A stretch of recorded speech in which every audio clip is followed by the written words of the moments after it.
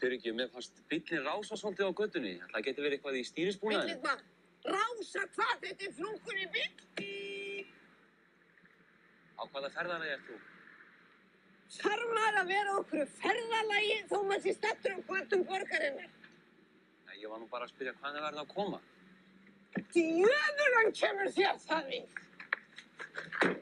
En þetta persónu afsóknir. Nei, þetta er nú bara formsatriði.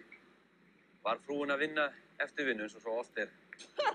Það getur nú ekki allir snappa sér eftirvinn eins og þið í löggunni. Ég var út að borða á holti með vinkonum mínum sporundriðin. Vilt ekki vita hvað við átum líka heimingið? Mætti fá svo aukurskiptinni. Já, var það ekki. Vilt ekki fá að sjá með brjóstin líka?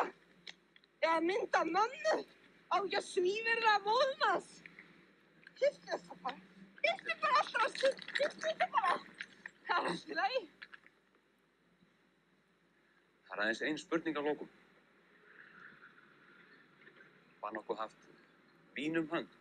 Nei, nei, nei, ég... Nú er mælirinn full. Maður má ekkert í þessu þjóðfélagi. Maður má ekki fara út að borða með vinnu sínum og skemmta sér. Maður má ekki neitt fyrir ykkur fasistóm. Viljið ekki aflífa mig bara? Viljið það ekki? Viljið ekki krossfesta mig á staðnum bara? Viljið það ekki?